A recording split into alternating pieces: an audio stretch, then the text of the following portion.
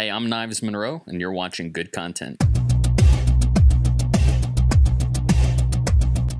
There is a 27 year old hungry creative, um, filmmaker who recently moved during the great pandy of 2020 from New York City to Portland, Oregon. I've been following this filmmaker for almost four years. From his tenure documenting the hustle and grind of entrepreneur and content creation master Gary Vaynerchuk to his Adobe residency of 2019. Tyler Babin is an extraordinary creative director and designer, but I like Tyler Babin for his video making and his visual storytelling. This is a kid who spills his guts out on every video. He's a hybrid, master of photography from the school of Chase Jarvis, and a brilliant video maker on the cusp of his prime. The video I want to talk about today is his most underrated. Sadly, you never know what video is going to pop and hit your recommended page, but for some inexplicable reason, the great algorithm really slept on this video.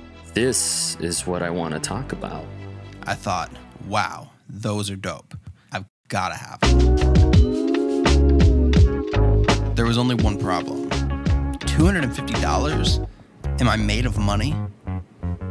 Good thing I have this.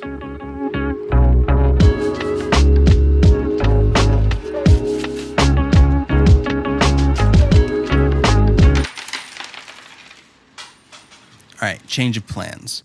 We're gonna make our own. Tyler Babin is a kid who inspires me to pick up my camera and make videos, no matter how jaded, jealous, pissed off, bitter, angry, depressed, despondent I am. And this video lit a fire in me Damn! Daniel, back at it again with the white vans. and is one of the bright spots of 2020. There's been a lot of trends on YouTube when it comes to content creators, some of which I too can find myself guilty in taking part in. One of those trends is this concept of the come up, the rise. It's not exactly hustle porn, but it is sort of self masturbatory, look at me, I'm crushing it content. Tyler Babin is totally known for that, and he's inspired me with videos from that ilk.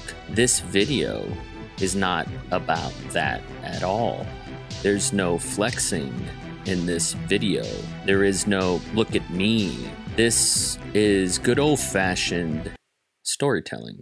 There's nothing more pretentious than a filmmaker. I'm splashing around trying to make waves to give this video a little bit more attention, and I think it deserves it. It's a video about customized vans. and the grand scheme of things, it's not exactly philosophical. What it did for me was remind me that it's not about gear, and it's not about hustle porn, and it's not about anything other than good old fashioned storytelling. As a filmmaker, that's what we're here to do.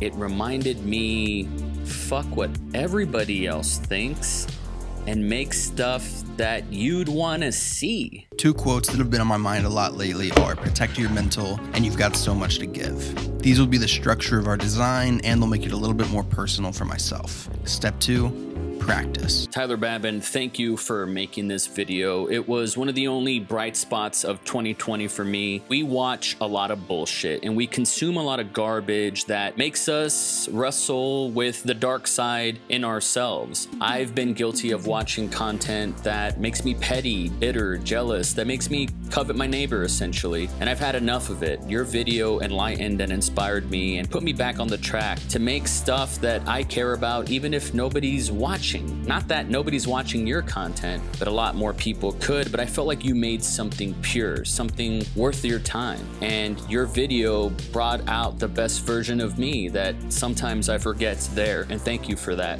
All in all, I'd call this pretty good content. Thank you very much for watching. Subscribe, like, comment, and if you don't like this video, leave a comment and start some shit down below. Either way, it helps me. I love you guys. My name is Knives Monroe. Keep a force field around your heart, and I'm gonna see you guys in the next video.